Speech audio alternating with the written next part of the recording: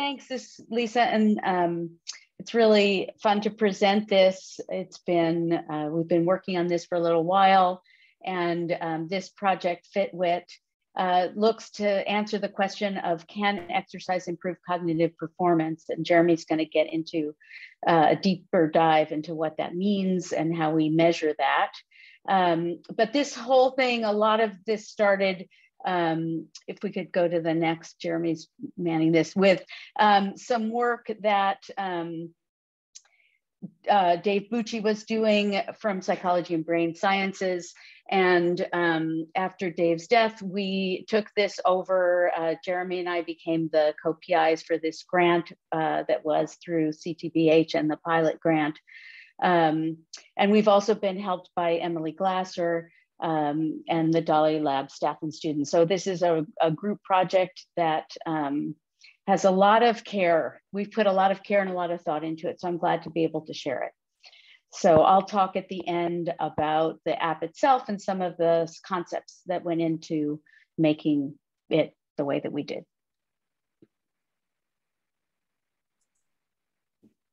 Cool. Yeah, so I'll, I'll dig a bit into the kind of science side of it. Um, yeah, so it's it's uh, a pleasure to be speaking with your group today, and uh, I'm also excited to tell you about our progress that uh, was made possible in part by pilot funding from the uh, Center for Technology and Behavioral Health. Um, at, at its heart, our, our project is about discovering links between physical and mental health. Um, and as Lorie mentioned, this project began as a collaboration between my lab and Lorie's DALI lab and Dave Bucci um, with guidance and support from Emily Glasser. And then after Dave's passing, Lori, Emily, and I have kind of carried the project forward. So the the most obvious and direct benefit of physical exercise is that it can strengthen our muscles and endurance and like improve the strength and efficiency of our hearts and lungs and increase our bone density and so on. So in other words, like exercise makes our bodies stronger. Um, and then the physical benefits of exercise can be explained primarily by stress responses of the affected body tissues. So for example, like when skeletal muscles are taxed during exercise, uh, you know, during exercise, that causes micro tears in the muscle fibers. And then our bodies respond by repairing the muscle fibers and making them larger. But then indirectly, exercise can also affect our minds and brains. So for example, you know, you might have experienced that you feel good for the rest of the day when you go for a run or that you can focus a bit better or feel less stressed out after you've gone for a walk. And essentially, there are two main aspects of mental function that can benefit from exercise. So, first, exercise can affect our mental health. So, in addition to that example of feeling good after a run, regular exercise can lead to longer term changes in the brain that affect a wide range of mental health dimensions, including you know, things like depression, anxiety, and even obsessive compulsive disorder and post-traumatic stress disorder. And then second, physical exercise can affect our cognitive performance. So exercise can affect how clearly and efficiently we think in the general sense, but it can also affect specific cognitive functions like perception, attention, memory, and cognitive control the mechanisms underlying how physical exercise affects mental fitness are not as well understood as the mechanisms that affect how exercise affects physical fitness. But we do have you know some ideas about how it might work. So we know that physical exercise leads to a wide variety of physiological changes in the body and those include you know, the changes to muscle fibers that I mentioned, but also changes in energy storage and hormone release and so on. And hormone release in particular can affect the brain in a few ways. Um, so for example, you know, hormones can affect the mix and quantity of neurotransmitters that are distributed throughout the brain. They can affect how brain cells grow and connect or communicate with each other and how different proteins are expressed across different cells and, and so on. And these changes seem to depend both on the specific blend of hormones that are released and also the concentration or amount of release. And then during different types of exercises, like aerobic versus anaerobic exercise, or like high intensity interval training versus endurance training, uh, et cetera, each type of exercise evokes different, you know, its own special physiological response. And then one idea is that these different physiological responses um, that are each brought about by a particular exercise or fitness activity could lead to different sorts of changes or responses in our brains. And then, meanwhile, we also know from decades of cognitive neuroscience research that different cognitive functions seem to be supported by different, albeit often overlapping, networks of brain structures. And some more recent work also suggests that different aspects of mental health might also affect brain structures and connectivity patterns in kind of unique ways. So taken together, it suggests some exciting possibilities. So imagine that we have some mental target in mind, like getting an A on an upcoming exam or feeling happier or improving your ability to focus at work. That mental target is going to be associated in turn with some target set of brain structures or mechanisms. And we think that different exercises will affect any given set of brain structures or mechanisms differently, which in turn implies that different exercises might have unique effects on different aspects of mental health or cognitive performance. So we could rank a set of candidate exercises according to each activity's expected influence on the given mental goal or target. And then after you know, entering your mental target into your smartphone, our recommendation system app could then you know, send you periodic reminders about when and how to exercise. And then you could even imagine eventually linking those reminders with your personal and professional calendars so that the system can learn like when you're most likely to engage in exercise and or have the time in your schedule to do so.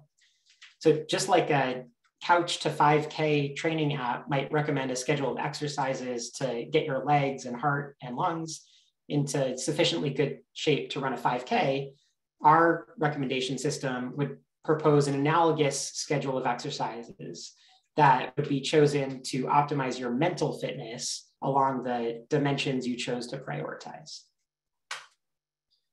So to build and train the system, we need to know about three broad categories of information about our users. First, we need to know about their physical health attributes like their you know, general fitness level, resting heart rate, baseline activity levels, exercise habits, and, and that sort of thing. Second, we uh, want to know about each user's mental health along a variety of dimensions. So for example, if someone is depressed or at risk for depression, we'd want to be able to factor that into our recommendations. And then third, we need some way of tracking or evaluating each user's cognitive performance. So for example, we'd want to know something about the user's current performance profile so that we could factor that into our recommendations as well. For each of these categories of information about a given person, you can imagine taking a set of measurements that in aggregate tell us something useful. So I've given the example of characterizing physical health using attributes like someone's resting heart rate or baseline activity levels and, and so on. And you could think about taking a whole bunch of these sorts of measurements and storing them as a set of numbers. So in other words, the, uh, the set of numbers for one person would describe you know, whatever aspects of their physical activity we identified as being or sorry, their physical fitness that we identified as being relevant or useful. So from a geometric perspective, if you want to picture it, um, you could think of each user's measurements as a point in a feature space. So it can be helpful to understand how this works in three dimensions. So the 3D space I'm showing here has three axes, which you know we could label as X, Y, and Z maybe X corresponds to something like resting heart rate. And you can imagine Y corresponds to average daily number of steps taken over the past week. And Z corresponds to the number of minutes of high intensity activity someone engaged in yesterday. And then since each of these measurements can be represented by a single number, we could represent the set of three numbers as a coordinate in this space. So each person is shown as a black dot, and then the dots that are nearby represent people whose fitness measurements were similar. So in general, we don't have to stop at three dimensions. It's hard to visualize what a higher dimensional space might look like, but the same basic ideas hold. Each dimension corresponds to some measurement, and that allows us to represent each person as a point in our feature space. And then people with similar measurements will be mapped onto nearby points. So, you know, the question becomes, how can we fill in our numbers to flesh out everyone's profiles and, you know, plot them appropriately in these spaces? Um, smartwatches and wrist worn fitness trackers continually collect a wide range of useful measurements like heart rate and blood oxygenation and accelerometer data that can in turn be used to infer activity levels and information about exercises. Uh, they track sleep habits and a bunch of more, you know, a bunch more. Um, often this information is also linked with smartphone apps that enable users to input even more fine grained information like specific foods that someone eats or water intake or various body measurements or even things like mood or stress levels. So altogether, activity and fitness trackers provide a really rich source of information that can be mined to build out detailed profiles of each individual's physical fitness. And because most of this information is collected automatically without requiring, you know, ongoing interaction or intervention from the user, we can get a continually evolving and updating picture. And we can represent that snapshot of someone's physical health at a particular time, for example, as a set of numbers. And then we can use that to determine which people's profiles are similar or different.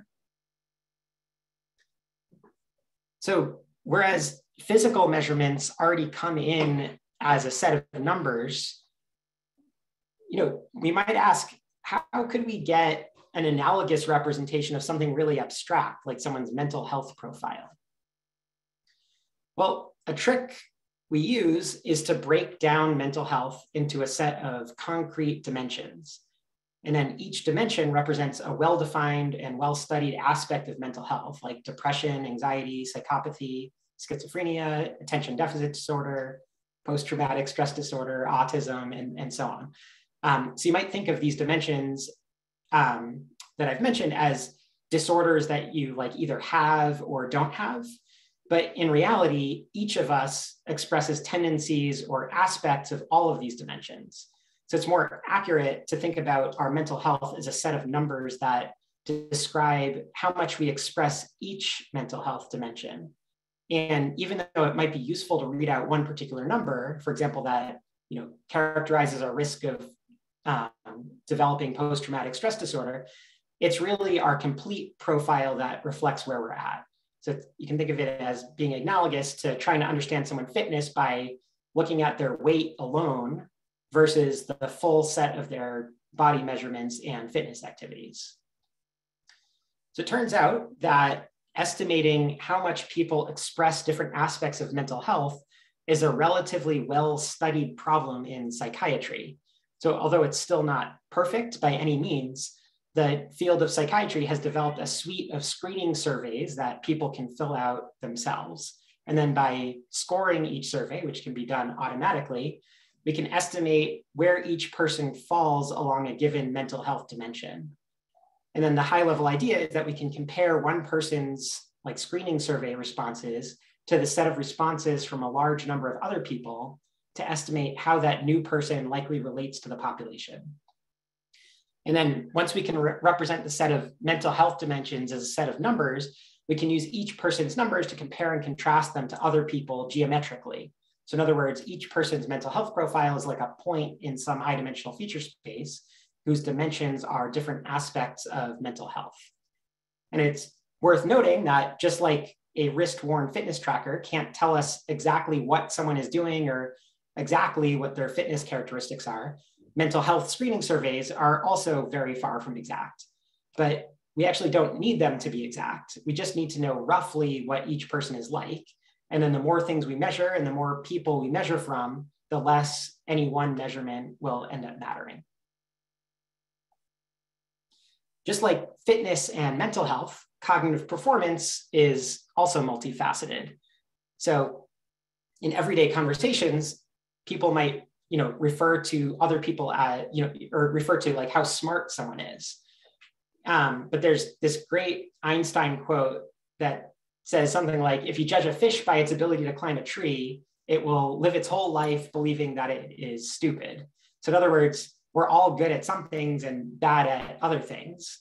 And if you focus on only one skill or function then you're going to miss the bigger picture um, so there, there are normed approaches to studying intelligence like IQ tests, but we want to be able to get a finer grained, you know, finer grained insights into cognition.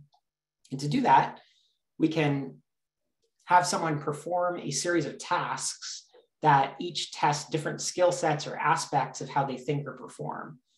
And then if we can characterize your performance on each task as a number, then the full set of numbers across all the tasks I have you do will comprise a sort of like cognitive profile that we can use to compare you with other people. So just like fitness and mental health profiles, we can think of someone's cognitive profile as a point in a high dimensional feature space whose dimensions now are different tasks or cognitive functions. So once we can represent fitness and mental health and cognitive performance profiles using these geometric spaces, it opens up some really, really neat possibilities. Essentially, we can start to build mappings between these spaces by figuring out the geometric transformations that move each person's coordinates in one space to their coordinates in another space. And then those mappings tell us how fitness and mental health and cognitive performance all relate to each other. And then if we know someone's fitness profile, once we have those mappings, it means we can start to predict how they're going to perform on some specific task or what their mental health might look like. And as we collect more data, we can start to make more and more accurate estimates about the things that we didn't explicitly measure from any given person. And then we can also start to predict what might happen if we can push around someone's coordinates in one of these spaces. So if I can figure out a way to change your fitness profile then that's going to correspond to changes in cognitive performance and mental health too. So to get this whole thing going, we need to start somewhere. And we decided to focus in on a subset of the things that we could measure about physical, mental, and cognitive health.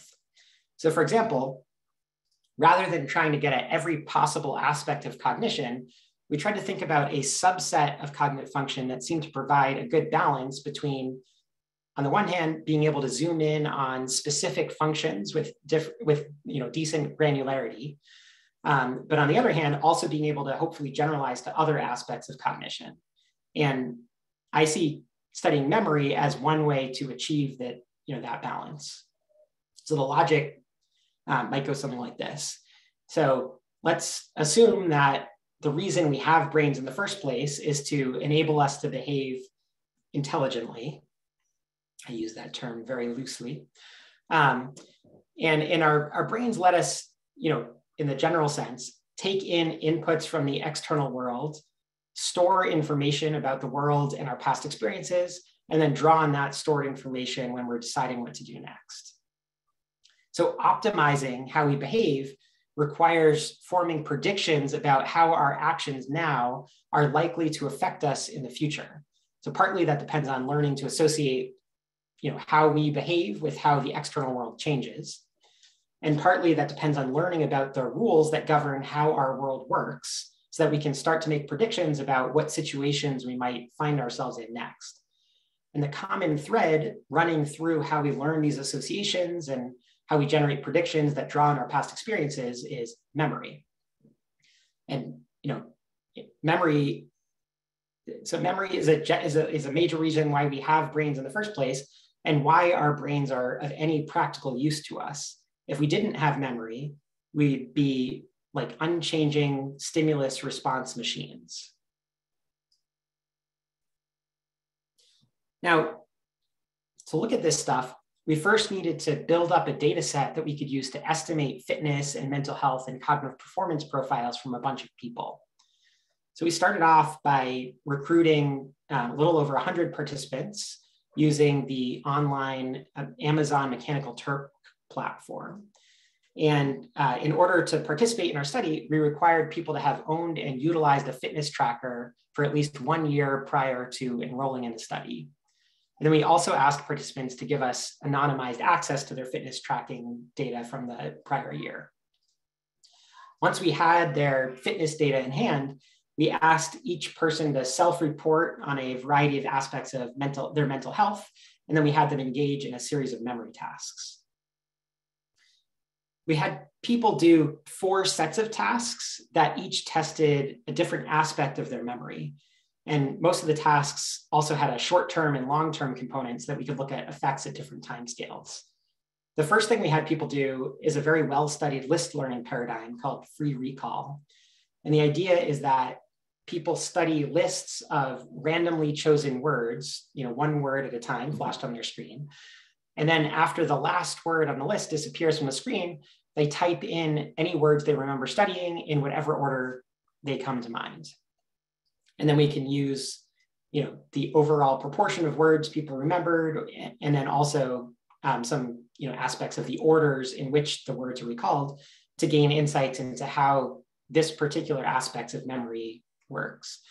Um, and in, in the memory world, people think of this paradigm as drawing on what's called episodic memory or memory for specific events.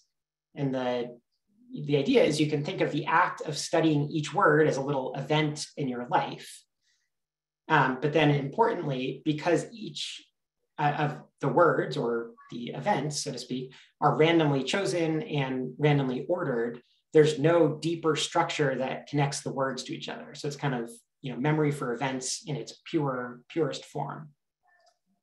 So we had people study and recall a few lists early on in the experiment, and then after they'd done some of the other tasks, we asked them to think back to those lists and retype out any words they remembered. The next task we had people do is also considered to be an episodic memory task. Um, we had people watch a short video clip of a story, and then we tested their memory by asking them to write out a narrative of what had happened in the story. We also had them answer a bunch of multiple choice questions about the story. Um, so, so whereas the random word list task looked at memory for unstructured information, this story memory test uh, the story memory task tests people's memories for structured information. So you can think, can think of the story also as a sequence of events, but since each event draws meaning from other events in the story, and since the order that things happen in the story also carry meaning, the way people experience the story has an important structure with, with respect to you know, how it unfolds in time. And then just like for the list learning task, we tested people's memory on a short time scale by testing them right after they finished watching the video clip. And then later on in the experiment by having them retype out whatever they remembered of the narrative later on in the experiment. The third task we had people engage in was a foreign language flashcards task. So we showed people a series of like flashcards um, with pairs of English and Gaelic words. And then we, we chose those particular languages because part of our screening procedure ensured that all of the participants in studies in our study were both fluent and in, in English and not at all familiar with Gaelic, which is a you know rarely spoken language. Um, and then we tested people's memories using a series of multiple choice questions. Um, participants got one test right after studying the flashcards and then a second test later on in the experiment. So this task draws on what's called associative and semantic memory. Um, associative memory refers to our ability to link or connect different thoughts or ideas. And semantic memory refers to memory for facts or information um, that aren't specific to any one moment in time. And then uh, finally, we had people do a really frustrating, at least when I do it, location learning task. Um, and what happens in, in this task is we randomly position some shapes on the computer screen, and then we blank the screen and ask people to move each shape back to its original position. And then we made this, uh, the test in this task progressively harder by asking people to remember or to memorize the locations of greater and greater numbers of shapes. And the key thing we wanted to know was people's baseline performance on like a version of the task with just two shapes, which is relatively easy. And then we wanted to know also how quickly their memory performance degrade, uh, degraded as we added more shapes. So this uh, task draws on the same aspects of memory that you use to remember like you know locations, like where you parked your car or where you put your keys and, and that sort of thing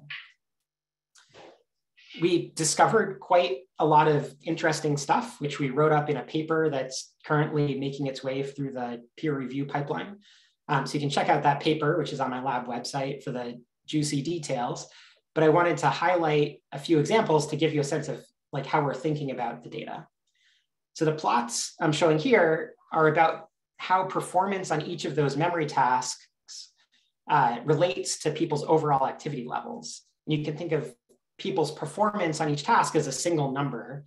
And here I'm highlighting people's daily step counts to show one aspect of their overall activity levels. So these are like timelines of how many steps you took each day. Over the year leading up to these memory tests, everyone has you know, different step counts and people's step counts change over time. The black lines in each of these plots show the average step counts from each day across everyone in the study. But then we can also start to examine potential interactions between physical activity and different aspects of memory by taking weighted averages. So each participant in our study contributes one task performance score for each task.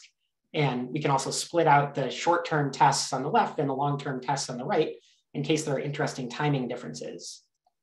But then for a particular task, we can look at the activity histories of people who performed particularly well on that task, and those people get upweighted in the average for that task. Then we can also look at the activity histories of people who performed you know, relatively poorly on the task, and they would get downweighted in their you know, respective weighted average.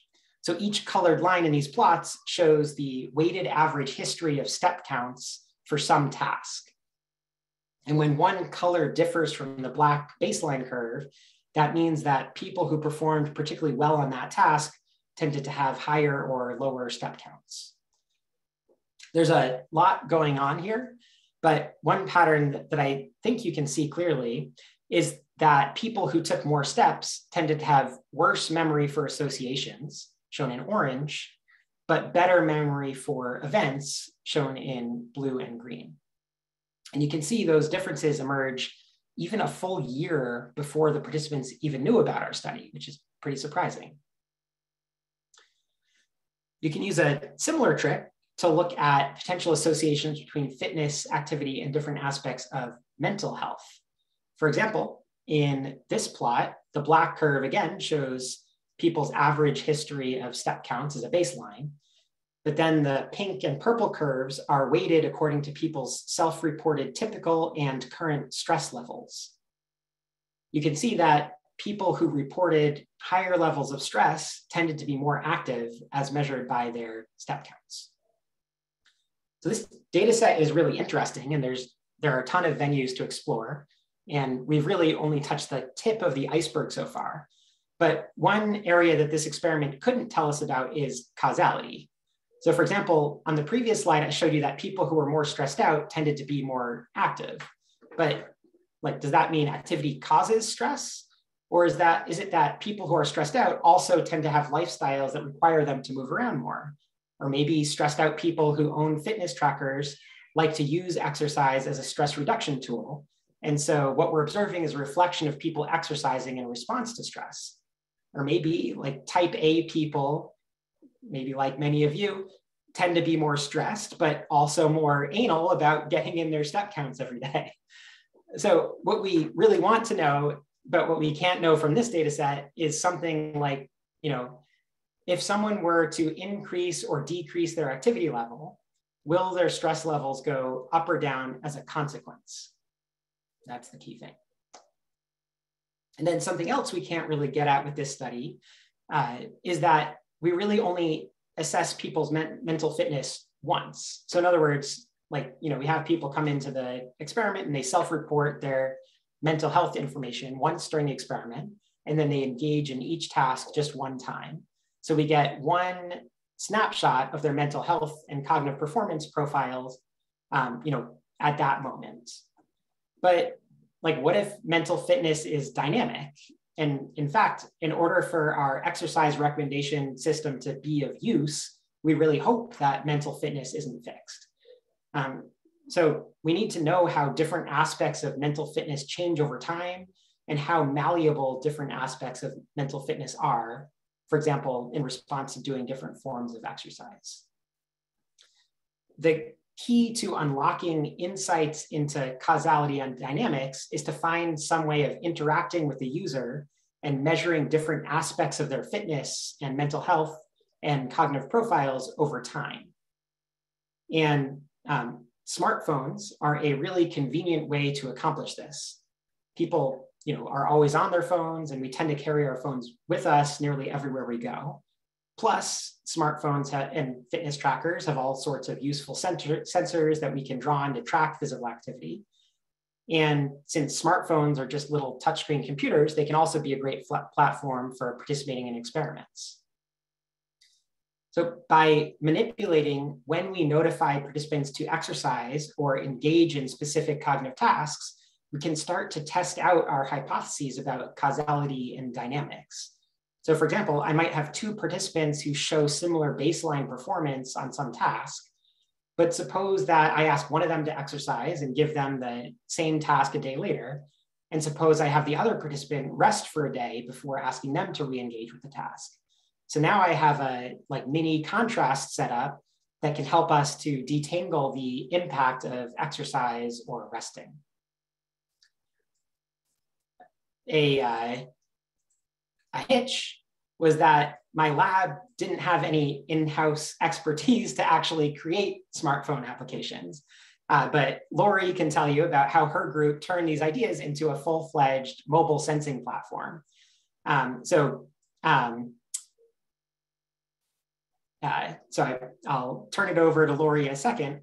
But um, in addition to the fantastic students from Lorie's lab, the work I've told you about also benefited, uh, you know, either directly or indirectly from many of the students in my lab.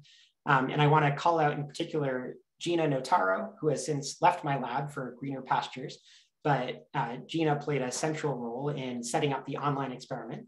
And also Esme Chen and Paxton Fitzpatrick, who have both done a great job helping to mine the data we've collected for you know, juicy science nuggets. so uh, thanks so much for your attention. And uh, let me stop screen sharing and I'll turn things over to Lorie.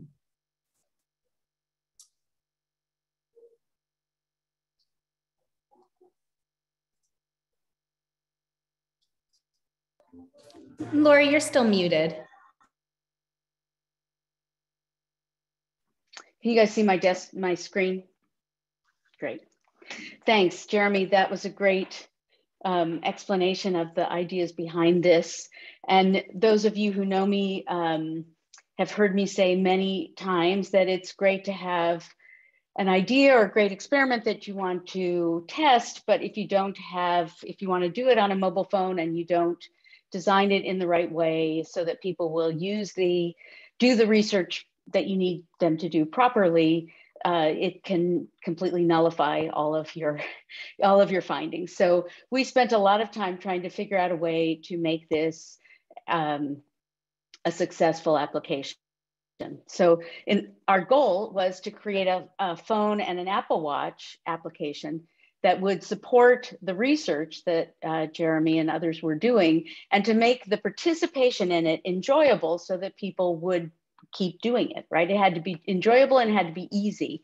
And it wasn't a simple experiment that people had to go through. They had to go through it every single day. And some days you did one thing and some days you did another. And so it was really a lot of figuring out how to uh, go through that process, get people through it.